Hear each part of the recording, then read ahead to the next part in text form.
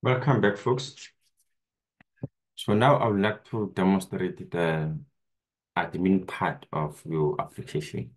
As a business owner, you will be able to upload your products to your application so that your customers can be able to see them. So you can see that this UI that you see is a UI for the customers, for your customers to be able to interact with your application. But as the owner, we can see that at the moment, there is nothing in the categories in there. So we don't have any product yet. So I want to show you how you will upload your own products to your web application. So first thing that we do, you go on top there on the address, and then you go on the page of admin. There you are. So we now arrive to your admin page as the business owner. So here, that's where we are going to upload your items. You can see here I have users. So if you click on users, then you are going to get uh, people who are allowed to use application. So you can see this is me, Bethuel there, and my email address. So on this application, I've logged in as a super user, meaning that I'm able to edit anything that is on the website.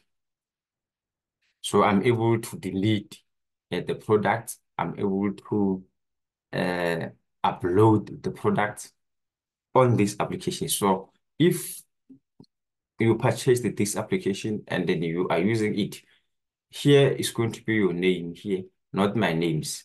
It's going to be your, your, your name, your email, and then your last name. And then here your, your, your, your, your status in your company, whether you are the staff or you you you, you are an admin. So are going to appear here. So now let's go to the part of payment now. You can see we have a payment page there. So your clients are able to get into your web website and be able to pay you directly to your, your bank accounts. So you can see on the pay, payment page, there is nothing yet because no client made any order on this application as yet. But when the application is in production, you will be able to see the orders here. And there you can also see as an order item, and then you see all the other items here. And then you can see that there you get the, the order order number, the type of the product that you are selling, the quantity. You can even increase the quantity there. And then the price of your, your product. So it's also going to be indicated there. And then here, you are able to choose uh, your name that the person who's actually making the purchase. And then you can see here that you, you are able to save the, the, the details there of the order form. So this is the part of the order form that is going to appear on the UI when your customer is making a purchase. So you can also see the shipping address there. The shipping address, this means that uh, you will be able to use this address to locate uh, your, your customer. If you want to deliver the product, then you can go straight to your customer and deliver the product directly to, the, to your customer, or you can use uh, any form of transportation to make sure that your customers get your product on time. So if I get in there, you can see that this is the form that contains uh, the address and the name of your customer, even the location of your customer there within the province. So you can delete this information or you can save it. So that is the part of the shipping address. The categories now, remember that if you are providing a particular product, you find that in that particular product, you have various categories. So you can categorize your product according to the categories so that it becomes easy for your customers to actually make purchase on application. So currently, there is nothing there, but you can add the category of your product there. Then you can begin to categorize your products uh, using this form. Then you can even save the category of your product. We also have this page here of products. So here it's where you are going to place the products that you are selling.